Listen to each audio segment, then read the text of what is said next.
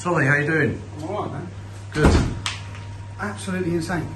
Absolutely fucking insane. You've had a rough 24 hours, eh? Not just insane. Do you know this is what it's about, yeah?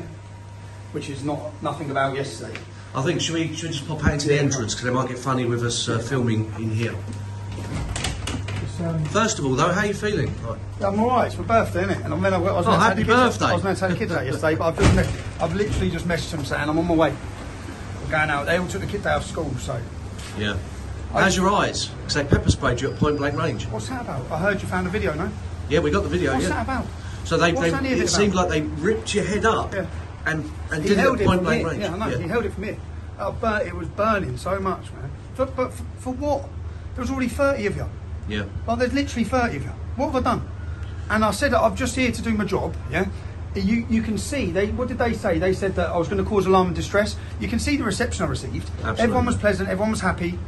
The fact that uh, they said the organiser of the demonstration, again, it's the unnamed organiser that they used in The Guardian to spread more lies, yeah? It's the establishment, because members of the establishment were there who don't want me there. And then, if say I organise a demonstration, what am I allowed to say? Well, I don't want the BBC to turn up. I don't want the Guardian there. Yeah. No, because we have a free press. But then look, this is so everything you've seen over the last three, four weeks. You've seen people climbing on monuments. They're not banned from London. You've seen Mohammed Hijab and that. You've seen, seen all these extremists. You've seen Hizb here demanding jihad and calling for Muslim armies. None of them are banned. Yeah. I am not allowed into London. Okay, I'm now banned from London till the end of January, where I go to court, where I've been prosecuted. Have you been charged? I've been charged and prosecuted. You've been charged with uh, section... They were remanding me. Do you know those two custody officers, the sergeants? Said, he just said, I'm probably in trouble here, Tommy. Yeah? Yeah. Because I've refused their, their, their, their agreement to remand you. Yeah? Yeah. He goes, and I've refused it based on what it is. And that's the custody sergeant who said, I'm probably going to be in trouble. The two of them just stood up and said, We're probably going to be in trouble. Yeah? Yeah, from They the were- highs up. Yeah, from the highs up because they were remanding you. They're Yeah. remanding you, but they, they've gone against them. To be Yeah. honest, every, every police officer in here was absolutely wonderful Yeah. from the minute I got in here. But they, they have they have gone against them because am I even getting charged? How can they justify ripping you off the street with such brutal enthusiasm, pepper spraying you in the face, carting you off for 24 hours, putting you straight And in then charging me? Yeah, uh, charging you, putting you straight in prison. Charge, that's what they're attempting to do. That's what they wanted to do. I'll be in jail now. Yeah. If those two men didn't go against it and, and actually rule on their job, rule on principle, Yeah. I'd be in prison. Yeah. And not just that, but th- when you see them, my bail conditions, my bail conditions are not to organise or partake or participate in any demonstrations. Oh, typical. Yeah. I talk about being back on the street. That's what this is about. We've seen this for 15 years. Yeah. This is about using. Sorry, sir. This is about using.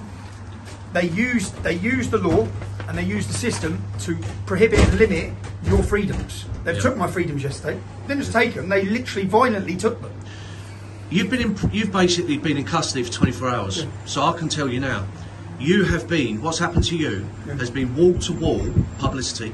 I mean, everywhere. You've had Talk TV, you've had GB News singing your praises, saying it's unfair, it's outrageous what's happened to you. I thought I thought they'd twist it. I thought all they'd. cut- I haven't seen anything, so I thought it would be portrayed to everyone that I turned up somewhere I wasn't welcome and I was a danger or something. You was trending from the Yeah. first moment. You're still trending. Yeah.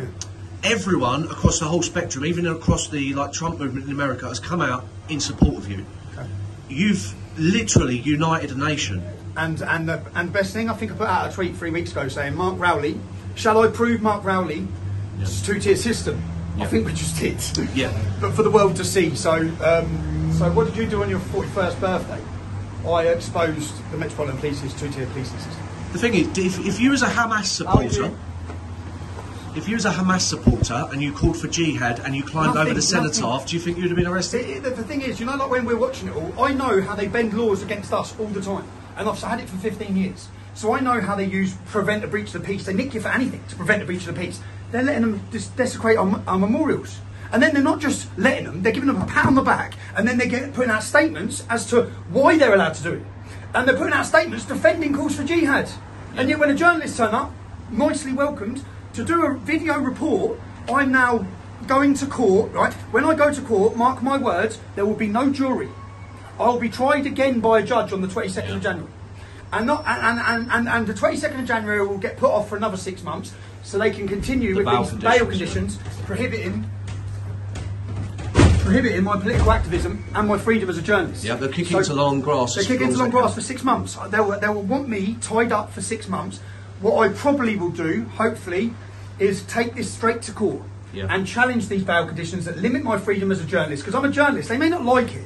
The BBC may not like it. I'm a better journalist than every single one of them, and I'm more watched than any of them. Yeah, and my journalism is trusted, which is why Elon Musk, if you hadn't given me back my platform, then the world wouldn't be able to have seen that I, that I was innocent. The world wouldn't be able to have seen the importance of citizen journalism.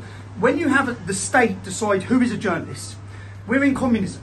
Yeah? When they start only allowing certain people to make reports, no, that's not what Great Britain is.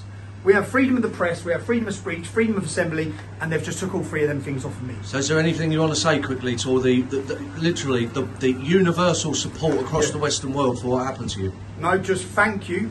Thank you to anyone who has supported. I know, you know, when I sit in places like that, because I didn't think I was getting out. I thought I'm gone for Christmas again.